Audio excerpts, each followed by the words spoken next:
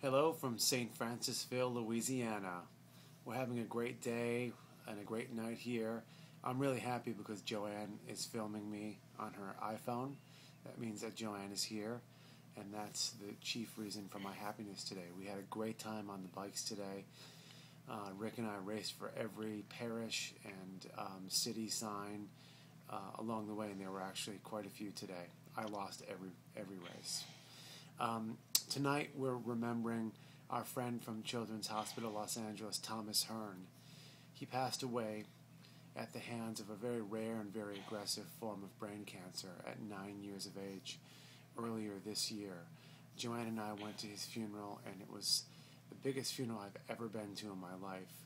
Thomas and his family have a lot of people who love them. Thomas had a seemingly endless amount of friends and it was a great celebration of his short life. His parents, Tish and Bob, have been uh, present in our lives uh, starting at the hospital when we were all there, and uh, they've stayed in touch with us over uh, email and, and certainly commenting on our blog uh, just about every day.